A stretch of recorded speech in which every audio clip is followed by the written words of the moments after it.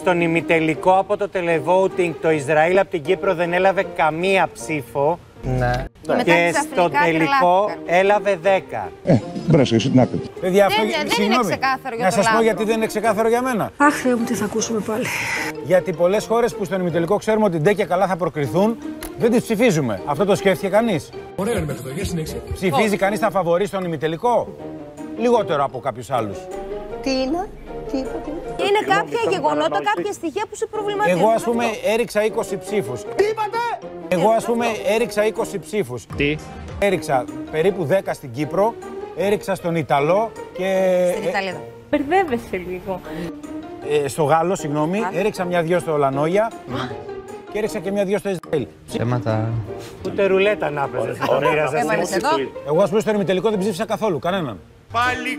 Ε, το γράφουμε όλο αυτό.